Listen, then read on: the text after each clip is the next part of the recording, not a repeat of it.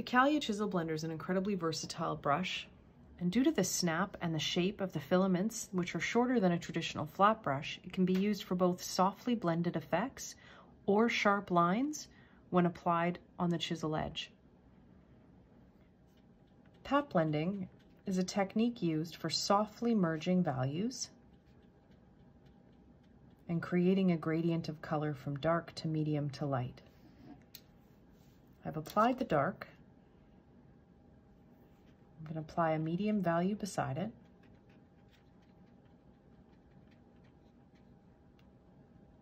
And before blending, we're going to wipe the brush between the folds of the paper towel. Hold the brush lower to the ground or lower to the table. And where the two values meet, you're going to softly blend with a light pity-pat touch. And this gives us a beautiful transition from dark to light. When chisel blending, we apply our first value.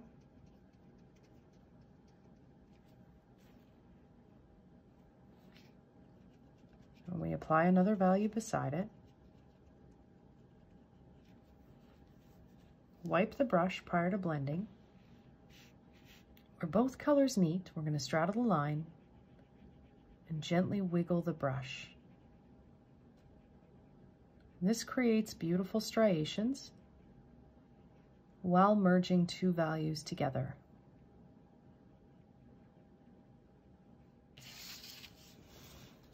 Painting flowers with the chisel blender can create beautiful striations in each of the petals with ease. By holding the brush on the chisel edge, we get nice sharp lines on the edge of our petal and beautiful striations in the middle.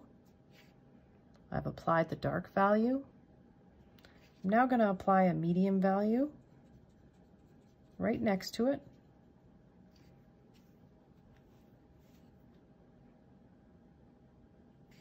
And a light value at the end.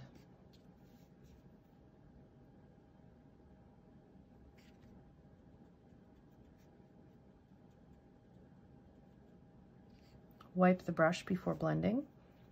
And where the two colors meet, the light and the medium, I'm going to apply the brush half on one color, half on the other, and gently wiggle where they meet. And where they meet between the medium and the dark, I wipe and gently wiggle. We can further highlight by applying color on top of our blended values.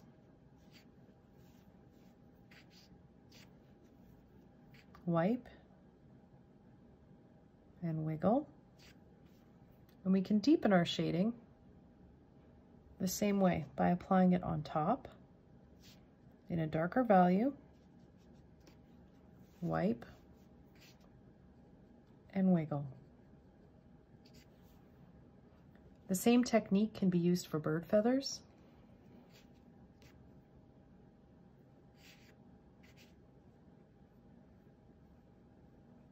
Use the chisel edge to create a nice sharp edge on your feather.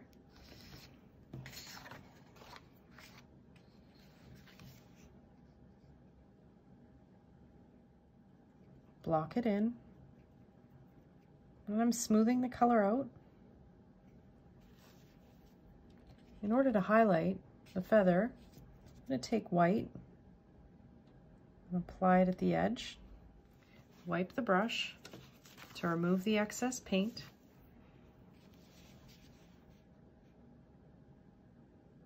And I'm going to gently wiggle where the white and the blue meet. And with that chisel edge, holding it straight up and down, I can create a center shaft line.